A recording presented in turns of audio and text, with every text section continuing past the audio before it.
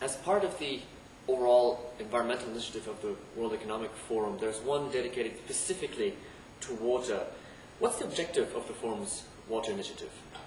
Well, that's right. Um, we do have a water initiative that has been running since 2003, and the first phase of that is actually closing out this year. The first phase of that water work has been very much focused on the challenge of providing water for social needs, for people who need water for drinking and for cleaning, um, as well as water for industrial needs, for the economy, because people need jobs, and many uh, industrial enterprises need a lot of water. This is particularly appropriate um, in a couple of parts of the world where economic growth is urgently needed, and in fact where water is very scarce. So we've chosen partnerships in India, particularly in Rajasthan, and in South Africa, particularly in Limpopo province in South Africa. Those are two regions of the world where this combination of the need for jobs and the need for water for people is quite urgent. Can you tell me a bit more about the forum's engagement specifically in India and in uh, South Africa? Sure. Um, again, in this phase of the water work, where we've been focusing on the balance between water for business and water for people, what we've done is tried to um, structure partnerships between the key protagonists um, in, in the piece. So whether these are governments at national, provincial, state or city level, whether these are businesses, um, particularly those uh, companies who are working in these water scarce areas, often in the extractive industry community or other um, water heavy users, for example, um, power um, generation, that kind of thing.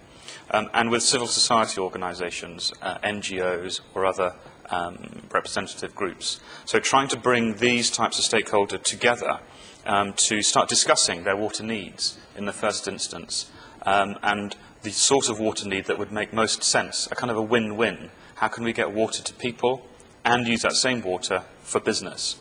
Um, and providing a neutral platform is what the forum does quite well to stimulate those discussions. And from those discussions, particular project concepts can emerge. And if we um, have also around the table um, people who have access to money and finance and development specialities, um, then those project concepts can start to take legs of their own. And that's what we've been achieving um, through working with our partners in India and in South Africa. Can you give some examples of the achievements that the initiative has had so far and what are the next steps? Sure. Um, so let's take the South Africa example, if I may. Um, in South Africa, we've been very lucky to create a partnership at a national level um, with elements of the South African government, Department of Water Affairs and Forestry, um, National Treasury, um, and also with a business partnership called the NEPAD Business Foundation, which is a business uh, reaction to um, the new Economic Partnership for African Development, which is an Africa-wide um, political process. Um, now, this partnership between government and business at the national level uh, has brought in, as I mentioned, uh, representatives from the mining industry, um, civil society representatives, and to focus on how to unlock some of the development challenges in uh, Limpopo province, for example, which is quite water scarce. So if we take some of those development challenges, you can imagine that building a mine um, is quite a, a, a big investment, and mines require a lot of water, roughly a ton of water for a ton of rock, if you're a mine. Um, mines also attract a lot of people to come and work in the mine, and any townships that uh, are nearby a mine will grow significantly. Those townships will require water and sanitation services.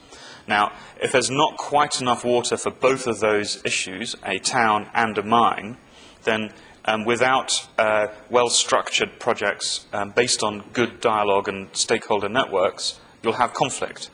And we've seen that in other parts of the world, the conflict between a mining um, entity and a community.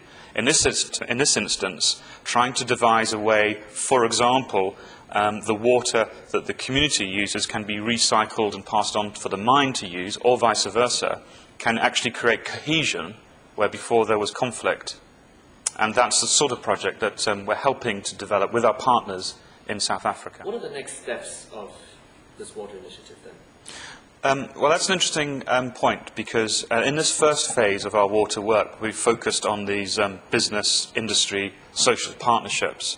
we've got to the stage with our partners in India and in South Africa whereby there are a number of robust, bankable project concepts.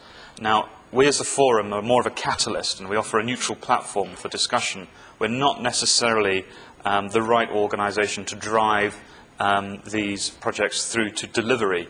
So what we'll be doing, I think, is um, inviting interested parties to get in touch um, and to use our discussion platforms and our events to advertise um, and to share with our, the stakeholders who've been working with us um, the opportunity that these project concepts present. And I think we would look for um, the delivery of these concepts through to implement implementation. We can play a role throughout that process, I'm sure, to maintain the stakeholder dialogue throughout. Um, but by doing so, I think we'd start to see um, the impact that this can have on, on the models that the wider development and government and civil society community use um, in their efforts to try to manage water both for business and for social needs.